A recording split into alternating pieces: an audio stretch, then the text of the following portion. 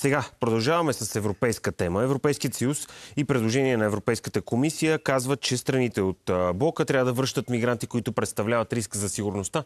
По тази тема ще говорим с българският евродепутат от групата на Европейската народна партия Емил Радев. Здравейте, господин Радев. Здравейте. Господин Радев, преди да влезем в темата за мигрантите, вчера като че ли Нидерландия отново ни поряза за Шенген. Има още малко време до декември месец и аз се надявам, че ще приложим всички дипломатически средства да убедим Нидерландия, че ние отдавна сме изпълнили изискванията. Видяхме, че едно от изискванията на Нидерландия, което въобще не е свързано с критериите за членство в Шенген, а именно свалянето на механизма за сътрудничество и проверка се случи преди няколко месеца, така че ние отново ставаме заложник на вътрешно-политическата обстановка, както в Нидерландия, така и в Австрия. Знаете, в края на ноември там предстоят избори. И аз много се надявам, че тази дискриминация към България и Румъния няма да продължи и ще успеем да убедим Нидерландия, че вътрешно-политическите битки не трябва да се принасят на ниво Европейски съюз и това наистина е нарушаване и на върховенство на закона в Европа, защото, пак казах, ние вече 12-та година чакаме да влезем в Шенген, след като пазим най-трудната европейска граница тайна между България и Турция и правим всичко възможно, изпълняваме всички изисквания да запазим Европа от нелегалност Май имаме технически проблем. Господин Радев, чувате ли ме? Чувам се, да, чувам ви. Добре, значи е било само при мен. Да влезем в темата с предложението на, от Европейската комисия страните от блока да връщат мигранти, които представляват риск за сигурността. Моля ви, обяснете ми какво означава това. Не се ли връщат и в момента хора, които са идентифицирани като риск? Какво правим че с тях? Държим си ги, въпреки че знаем, че имаме проблеми. За съжаление, това е огромен проблем в Европейския съюз и ние видяхме какво стана с това, което се случи в Брюксел тази седмица. Убийството на двама шведски футболни фена в понеделник вечер и раняването сериозно на още един показва как буксува миграционната реформа в Европейския съюз. Като погледнем профила на стрелеца, ние много лесно виждаме това. 45 годишният тунизиец, добре известен на полицията по подозрение за трафик на хора, е прибававал незаконно в Белгия, след като му е отказан хуманитарен статут преди две години. И в това няма нищо странно, освен ако не се задълбаем в неговата история. Той пристига от Тунис на италианския остров Лампедуза през 2011 година, преди да отиде в Швеция, откъдето е експулсиран – по време на пребиваването си в Швеция дори е бил две години в затвора заради продажба на наркотици.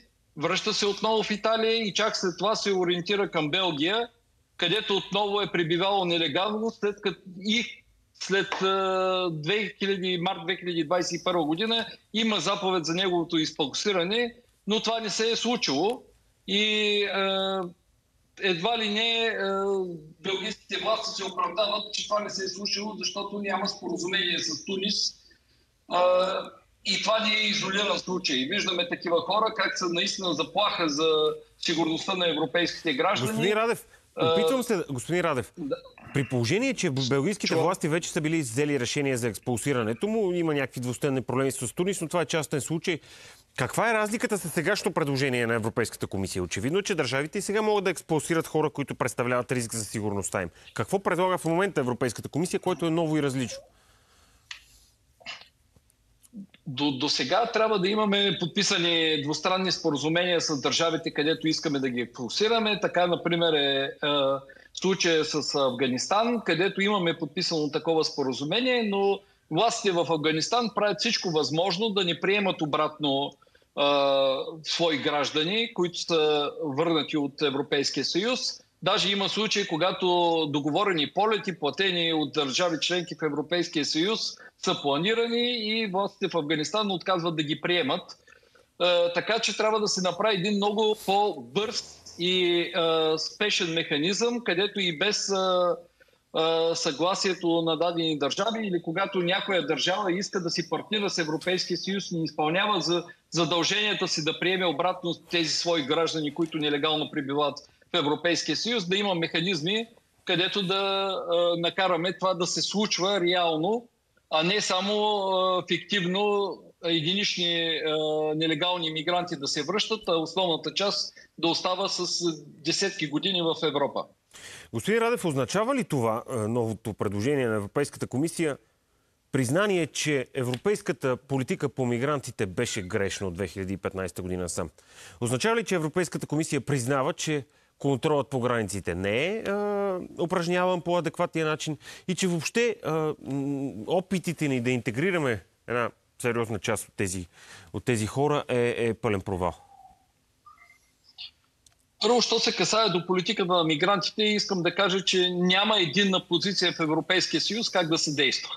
Ето, ние виждаме Европейската народна партия, чието член съм, иска затягане на контрола по външните граници, иска бързо експулсиране на нелегални мигранти, особено те, когато представляват заплаха за сигурността в Европейския съюз. От друга страна стои левицата, социалистите, зелените, които пък искат да си отворим границите, казват тези хора, независимо, че са нелегални, те бягат от войните, бягат защото имат проблеми в своите държави членки, дайте да ги приемем, не можем да ги оставим да се давят в морето, едва ли не трябва да си отворим границите и да ги приемем с широко отворени обятия всички.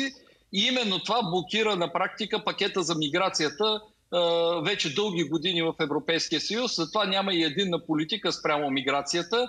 Но тук ние като български евродепутати и България като цяло винаги сме държали позицията, че трябва да се охраняват външната европейска граница много добре. Виждаме, че в въвеждането на гранични проверки, даже и по шенгенските граници, това ни върши работа. Влезли са веднъж нелегалните мигранти вътре в Европа, те много лесно мигрират от една държава в друга. Така че само затягане на контрола по външната граница и много бързи процедури по експулсиране на тези, които представляват опасност за гражданите на Европейския съюз, ще върши работа, ще има превентивен ефект.